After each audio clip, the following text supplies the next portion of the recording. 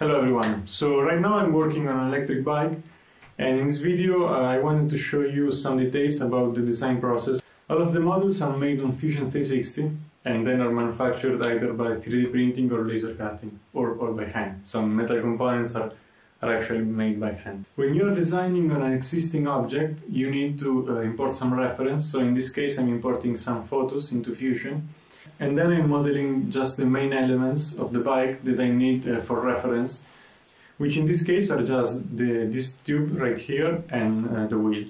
Then when you're designing the various elements, you have to consider also the way in which they are going to be manufactured. For example, this piece here is going to be 3D printed, so I have a lot of freedom on the complexity of the model. The element that holds the motor instead is going to be made out of aluminum or steel, and since I don't have a metal 3D printer, because they are very expensive, it's gonna just be manufactured out of a thick sheet of metal, like this one. This is 4 millimeters of steel.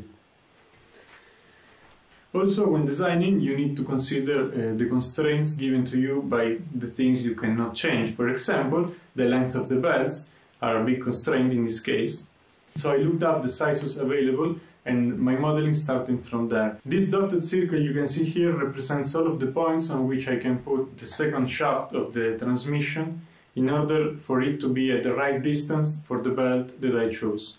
Yeah, I forgot to say my bike is gonna have a two-stage redu uh, reduction. First a 2 times reduction and then a 10 times reduction for a total of 20 obviously. The small pulleys are gonna be made out of aluminum and are just these store-bought uh, pulleys. While the big pulleys, the 40 tooth and the 200 tooth pulleys are going to be made out of wood. And I made an example here and it seems to work pretty fine.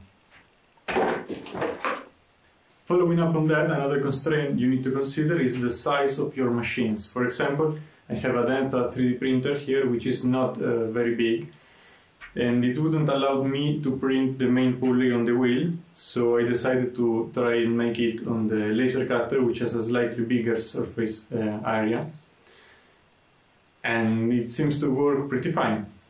The motor is going to be simply a three-phase brushless motor and I'm going to use the VESC as a controller.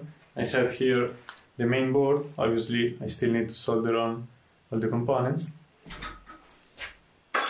I know this is the old version, this is the 4.12, I think, hardware version of the VESC, but uh, it's worked fine for me on my electric longboard so far, so I'm gonna keep going with it. Also, the VESC 6 is, is quite expensive.